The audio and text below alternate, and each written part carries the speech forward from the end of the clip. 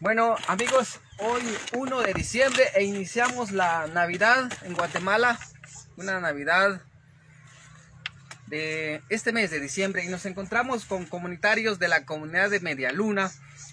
Estamos saliendo hasta el lugar de los hechos para que usted vea claramente cómo ha quedado prácticamente esta comunidad y no es una, sino son 18 casas según nos informan las autoridades comunitarias que prácticamente se han derrumbado producto de la tormenta ETA y OTA y por supuesto que han afectado seriamente a nuestras comunidades.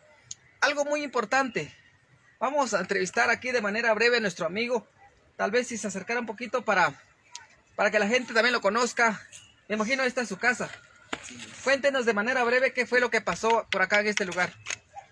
Bueno, cuando viene la tormenta ETA y esta casa se destruyeron primero y luego cuando viene el otro, lot se dice, se, se destruye el otro casa está allá y ahorita estoy en posado pues.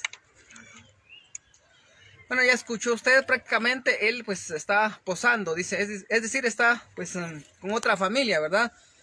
El llamado entonces a las personas que tienen ese noble corazón de poder apoyar a nuestra gente. ¿Cómo? A través de víveres, a través de láminas. Y si fuera necesario, hay personas que tienen la capacidad económica, gracias a Dios, pudieran apoyar a estas personas. Dios se lo va a agradecer bastante y también la familia, porque de verdad, usted está viendo cómo ha quedado prácticamente esto hecho totalmente un desastre. Gracias a Dios, en Cunén ha dejado de llover pero las consecuencias siguen y siguen muy fuertes y prácticamente las familias se han quedado al borde, al margen y en pobreza. Así que, ¿cómo podemos apoyar? Usted lo puede hacer a través de las autoridades o a través de este medio de comunicación, nos puede escribir y con mucho gusto nosotros vamos a estar saliendo. Algo muy importante, estamos saliendo hasta el lugar de los hechos. ¿Para qué? Para evidenciar los problemas que realmente tiene cada familia. Uno, dos, estamos entregando la ayuda a las personas que realmente lo necesitan. Usted ha visto algunos otros videos y así es. Estamos de una vez apoyando. Yo felicito de todo corazón a otros medios de comunicación también que están haciendo su trabajo y están apoyando a la gente. Gracias a Dios y gracias amigos curenenses, porque de eso se trata, no solo de lucrar, sino apoyar a nuestra gente, a nuestro prójimo. No importa cómo llegue la ayuda. Lo más importante es que llegue y que lo reciba esas personas que más lo necesitan. Así que, al nombre de todo este medio de comunicación, un mensaje que quisieras transmitir en estos momentos a la gente que te ve detrás de cámaras. Bueno, pues este, es mi casa, se destruyeron, pero ahora solo estoy emposado, tan siquiera un poquito de arena pues para que pueda construir otra casa para que me pueda vivir. Es que tengo una, tengo mi mamá y mi esposa y tengo dos hijas pues y tampoco no tengo trabajo para dónde ir pues y ni siquiera un poquito de ayudas que vienen otros lugares.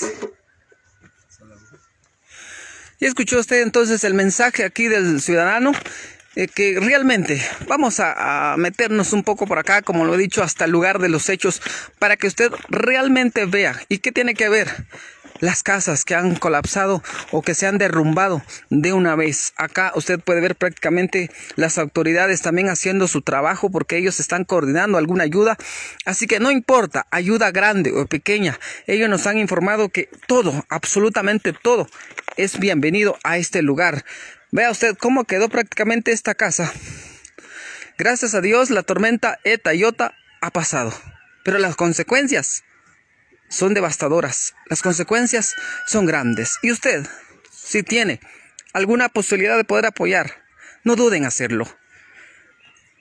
Son 18 casas que han quedado prácticamente derrumbadas.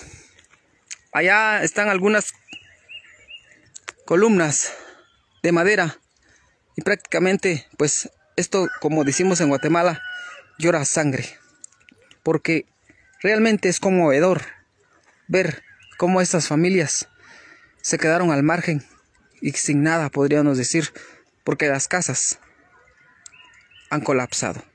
Si usted tiene la intención de apoyar, escríbanos un mensaje. O también puede comunicarse con las autoridades competentes. Con mucho gusto, nosotros le vamos a dar el número para que la ayuda llegue verdaderamente a donde corresponda y a las personas que hoy no tienen, pero con su ayuda mañana tendrán. Mi nombre es Leonel Urizar. Hasta una nueva transmisión. Con permiso.